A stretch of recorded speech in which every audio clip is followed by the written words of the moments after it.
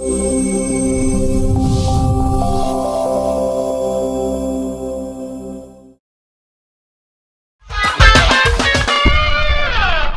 Olá, boa tarde, tudo bem? Tenho certeza que você já está bem informado porque acabou de ver o TV o Jornal, mas o Revista da Semana vai trazer outros destaques para deixar o seu sábado e o domingo ainda mais divertido, né? Nós vamos falar de Copa do Mundo, nós vamos mostrar as curiosidades dos cinco campeonatos que nós já vencemos. Tem também, como eu já disse, os destaques da semana e claro que o sabor do interior. Eu não vou falar o nome do prato, você só vai ver para ficar curioso, porque é daqui a pouquinho que a gente vai mostrar e falar o que esse prato tem de diferente. E claro que a gente vai ter muito mais a partir de agora no Revista da Semana.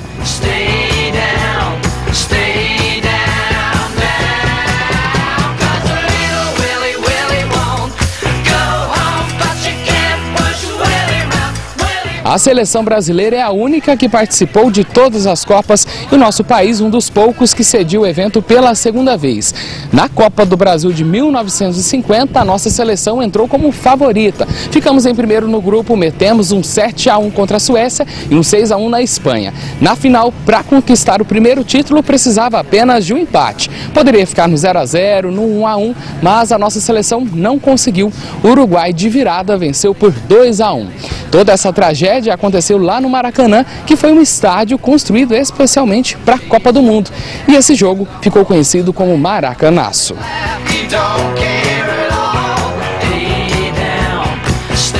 E depois dessa tristeza que foi a Copa de 1950, esperamos que isso não se repita né, esse ano aqui no Brasil.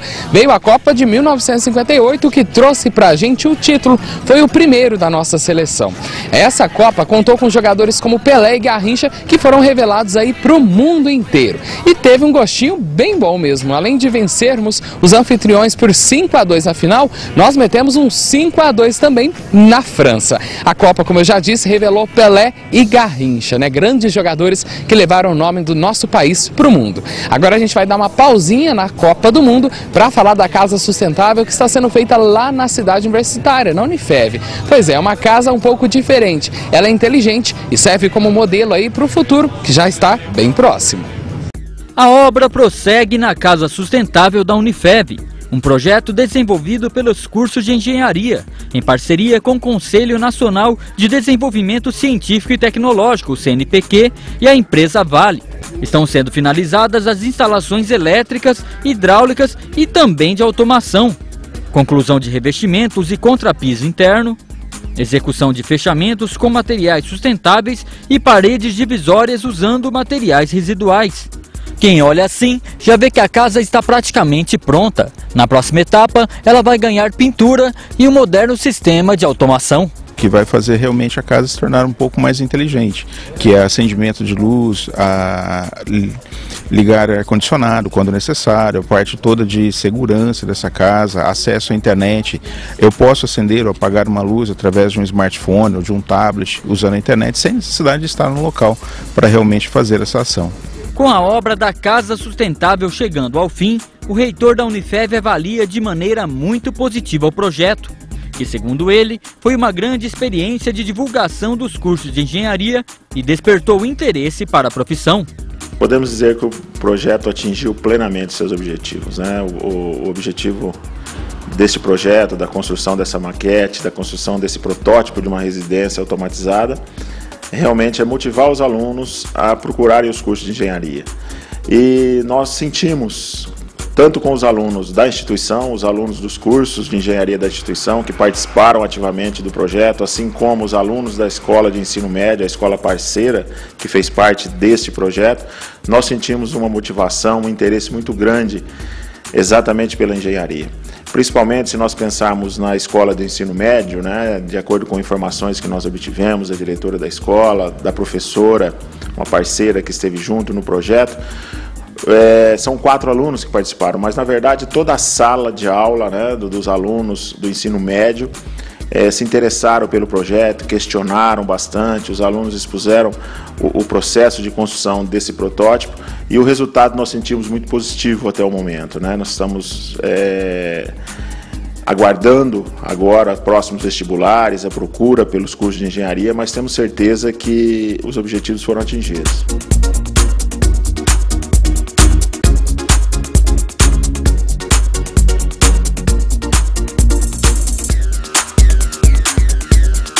Em 1962, depois de quatro anos, né, conquistado o primeiro título, o Brasil nem precisou viajar muito para participar da Copa do Mundo, porque foi lá no Chile. Nós ganhamos lá o bicampeonato. Eliminamos grandes seleções, como a Inglaterra, por exemplo.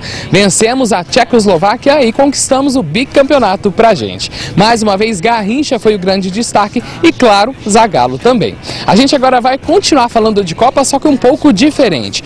Andando pelas ruas de Votuporanga, já dá pra ver que os carros, as casas, tá todo mundo no clima. Pessoal de camiseta, comprou a camiseta da seleção brasileira. Só que a mulherada foi muito mais além. As manicures tiveram muito trabalho porque tiveram que pintar as unhas aí na cor da seleção brasileira. A gente foi às ruas para saber como tá essa moda aqui em Votuporanga. O clima da Copa está por toda parte, até mesmo quando o assunto é beleza. Neste salão, mais de 200 clientes já optaram pelo verde e amarelo na hora de esmaltar as unhas. A Aline, que é a manicure, já gastou mais de 10 vidros das cores do Brasil em menos de um mês. O que mais tem saído são os desenhos da bandeira, que é o símbolo do Brasil, né? Pessoal também patriota. Bastante. A Aline espera que as unhas em verde e amarelo traga sorte para a seleção conquistar o Hexa. Se depender do nosso trabalho, tá garantido. Catrine está aderindo à moda pela primeira vez. O que, que você espera aí da, da bandeira aí na sua, nas suas unhas? Que traga sorte, né? Fiz para poder dar sorte. Pelas ruas encontramos outras mulheres que aderiram a essa moda. E quem nem pintou as unhas das cores do Brasil gostou da ideia. Legal. É Aqui, Olha só, já até pintou já. Já. Tudo para dar sorte? Tudo. Ótimo. Vai pintar a sua? Eu já pintei, só que já saiu, passei outro. e você, o que, que acha? Vale tudo. É Copa. Eu pintei a semana passada, pintei minha unha de amarelo e verde. Agora essa semana foi de mais escura. E hoje amanhã vai ter que trocar o esmalte então. Ah, vou ter que trocar o esmalte, voltar pro verde. ah, tá roxo, né? Brasileira roxa. vale a torcida. Com certeza.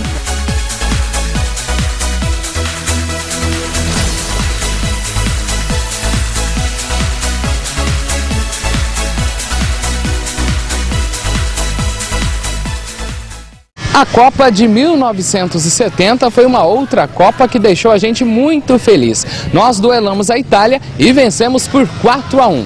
Nós conquistamos assim o tricampeonato e os italianos ficaram apenas com a vontade. Essa foi considerada uma das melhores Copas do mundo que já tivemos. Agora a gente vai falar, já que estamos falando do México, da seleção brasileira que enfrentou o México agora, né, na semana que se passou.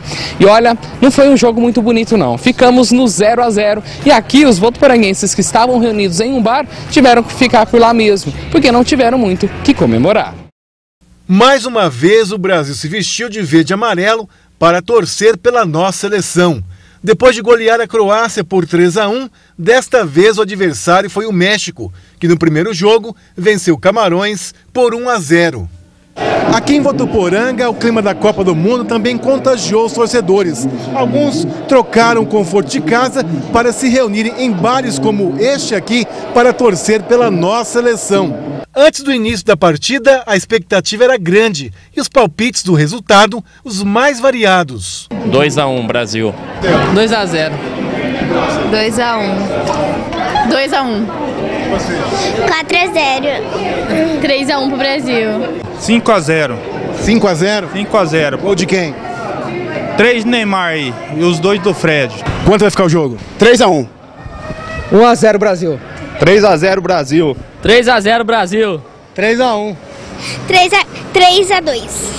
Início de jogo e a atenção agora é toda na tela da TV. Logo no início, gol do Brasil, mas o Bandeirinha já tinha marcado o impedimento. A cada chute a gol, a galera vibrava. Final do primeiro tempo, 0 a 0. Ah, achei que o jogador deixou meio a desejar, né? Mas vou arriscar um palpite aí, 2 a 1. É um 0 a 0 aí meio desanimado. Desanimado, bastante desanimado. Não, gostei, foi legal. Mesmo ficando em 0 a 0? Mesmo ficando em 0 a 0, mas bom, vamos ver o segundo agora, né? Expectativa aí, qual o resultado? 2 a 1 pro Brasil. E você, o que você achou do primeiro tempo? Também gostei. Ah, poderia ter saído um golzinho, né? Mas eu acho que um. Também, 2x1, um, acho que vai ficar. Meio fraco. Fraco. O jogador precisa jogar mais. Você acha que faltou o quê? Faltou a atitude do jogador. Começa o segundo tempo. O México insiste em abrir o placar. Nem mesmo Neymar conseguiu dar alegria ao torcedor brasileiro. Parece que o dia não era mesmo da nossa seleção. Nessa altura do jogo, o torcedor estava indignado. Depois de mais de 90 minutos de partida, com muita tensão e expectativa, a vitória não veio. Final Brasil 0, México 0. Dá pra melhorar, dá pra melhorar. Ficou decepcionado ou não? Bastante. Pela seleção, sim. Ah, decepção não posso falar que teve, porque o primeiro jogo a gente ganhou, mas pelo menos tá no empate aí, tá bom. Foi bom não, foi fraco hoje. A atuação do Brasil foi fraca hoje. E depois desse resultado, você acredita que o Brasil ainda pode eh, levar o Hexa? Com certeza, com certeza. O Brasil até que jogou bem, mas faltou aquela característica do time assim, mais aguerrido. Faltou a luta, a guerra, sabe? Então, vamos torcer para que o, o próximo resultado venha a ser positivo para nossa seleção, né? Seleção Canarinho aí, mais um título à vista. Mas para essa galera, o resultado não foi motivo de desânimo. A alegria e o otimismo foram os vencedores. Para eles, o Brasil vai ser campeão. E agora a gente vai para um rápido intervalo. No próximo bloco vamos falar de duas Copas que foram muito importantes para nós, a de 94 e a de 2002. E claro que também vai ter o sabor do interior. Não vou te falar o nome, você está vendo a imagem e vai saber que prato é só no próximo bloco. A gente volta já já.